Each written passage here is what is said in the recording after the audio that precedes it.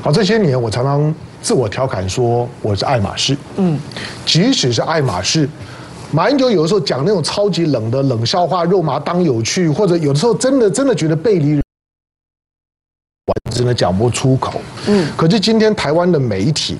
把只要是跟柯文哲或者跟民进党有关的都捧上天，样样好。即使经过我们的一些整理之后，就发现说那些不过都是过去，不管是好龙兵啊，有的是空头支票啊，是有的到现在还要用民粹来抢，跟中央抢地。我不知道万一明年蔡英文当选了之后，他们要怎么去抢那块地？那尤其这几年，其实我在我在很多的场合当中，我都讲有一件事情，我最早呢为当下的国民党政府马英九高度的抱不平，他被贴上。上了一个所谓的财团的标标签，跟财团站在一起，是啊，他就是权贵，他就是天龙国，那他可能呢跟着一般的市井小民的痛苦距离很远。嗯，大家都说呢，你看台湾的居住没有正义，土地房地产的飙飙涨，国民党要负责。嗯，但是这几年的时间，你有没有注意到？因为我跟凤新我们跑新闻的过程当中，我们眼睁睁的看着一个理想没有办法落实。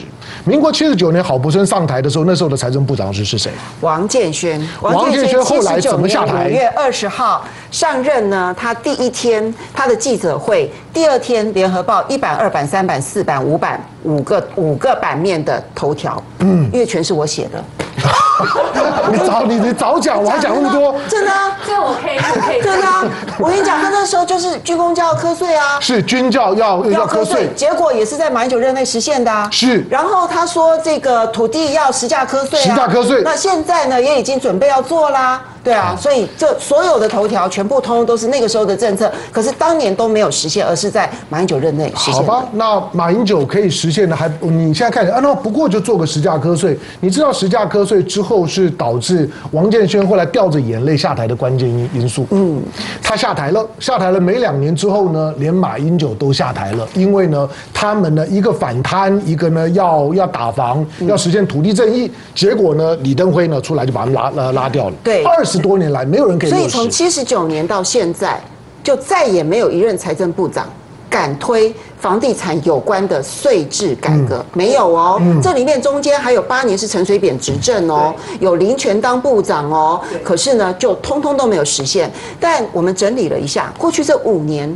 每一年都有一个税制的改革是跟房地产有关的打房的政策。我们来看一下，婉君弟弟。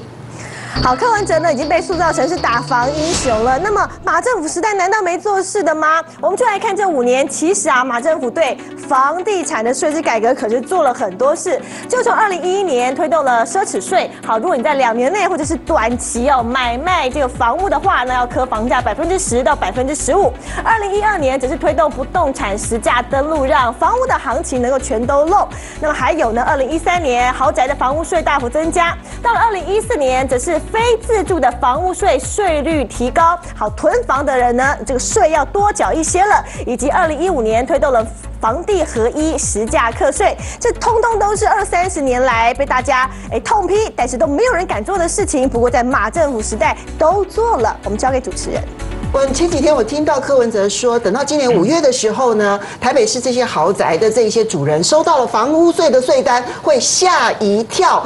很多人一定会觉得说，哇，柯文哲太厉害了，打击这些有钱人。但问题是，那些税单的税税负会变重，跟柯文哲有什么关系？小平，其实哈，最重要的，大家都谈房子是私交的，房子盖在盖在什么上面？盖在土地上。嗯台北国民党的政府啊，在房子上，奢侈税等等，可打到谁？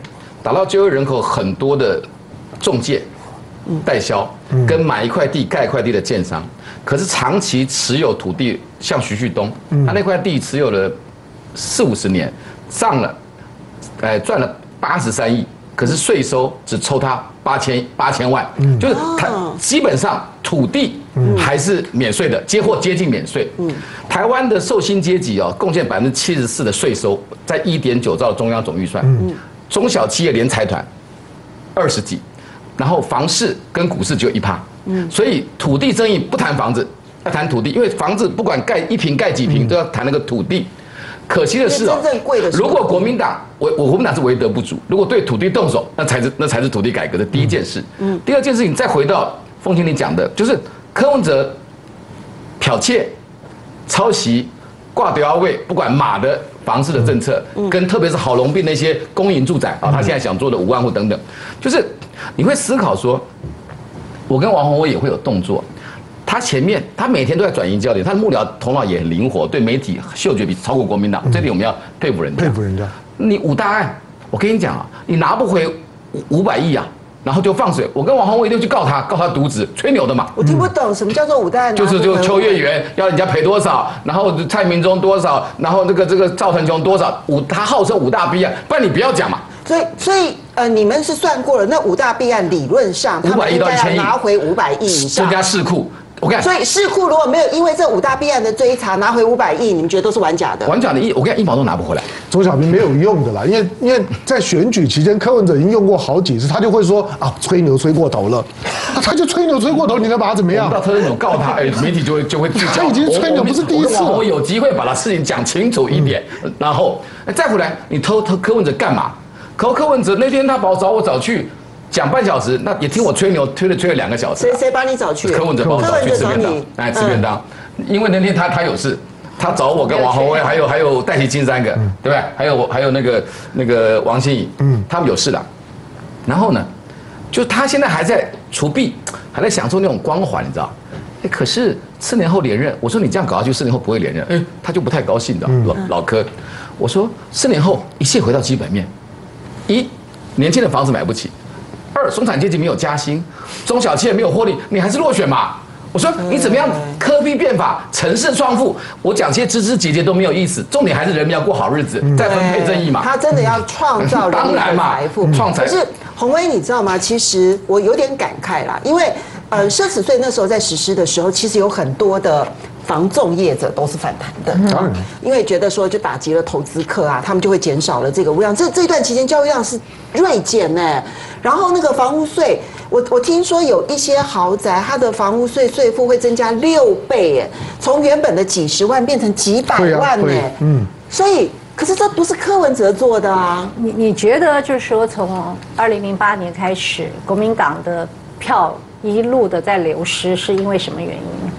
其实我必须要讲，就是说，呃，包含呃正所税的负增，还有对于这个房屋相关的这个税负的增加，其实打到的是谁？打到的都是原来国民党的基本支持者。对，我我们必须要讲，这是是，所以他改革了。你知道，我有朋友真的跟我讲说。